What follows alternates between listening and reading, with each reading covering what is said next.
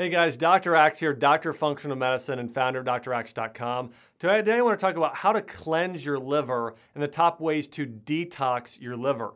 And your liver is your second largest organ and it is so important for detoxification, for cleansing, for your overall health. And so I'm going to go over my five top ways that you can detox your liver on a regular basis. And number one is start by removing all the toxic stuff in your diet. Listen, you can take all the pills, all the supplements, all the potions, and you know what? They will not do any good until you start getting the junk out of your diet. So, step number one in doing a liver cleanse is to remove the processed grains and sugars and fast foods and packaged foods.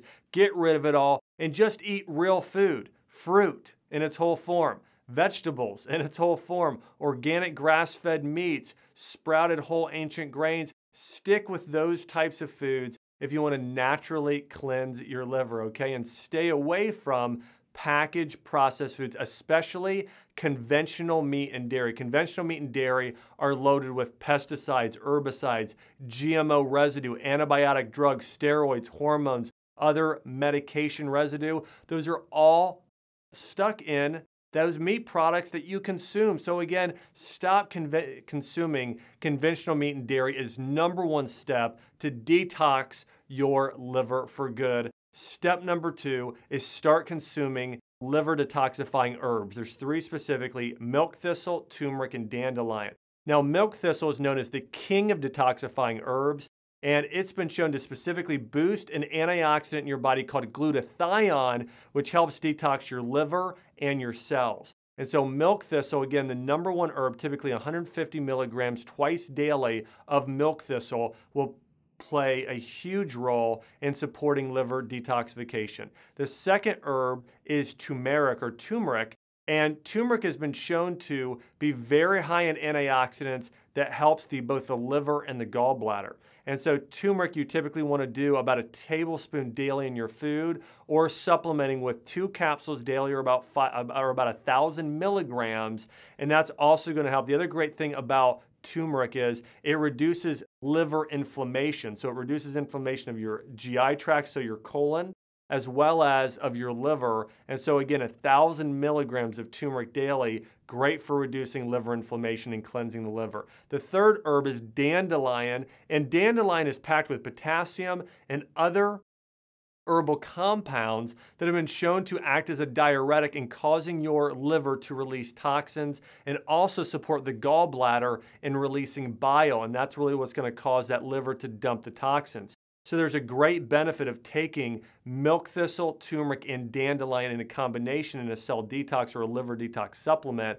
But again, those three herbal extracts are the most effective herbs at naturally detoxifying the liver. Not to say there's not others like bupleurum and a few others that are great for the liver, but those are some of my favorites. The third thing you need to do to detox your liver is to work on your body emotionally and detox your uh, detox your emotions. According to ancient Chinese medicine, the emotions you experience directly affect certain organs. And when it comes to your liver and cleansing your liver, there are specific emotions uh, of number one would be frustration, the other one is resentment, unforgiveness, and anger. Those are the four emotions that directly affect your liver.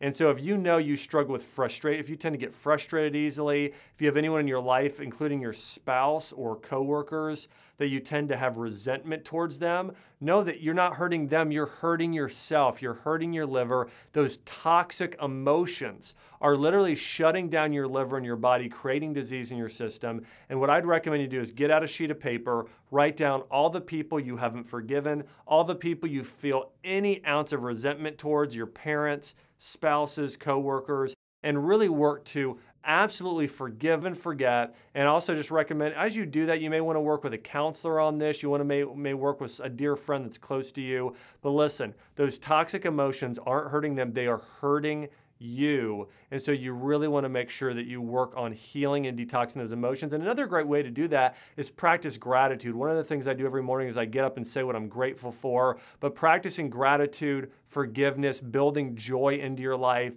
uh, reading personal growth books, reading your Bible and ancient and reading scripture and memorizing verses.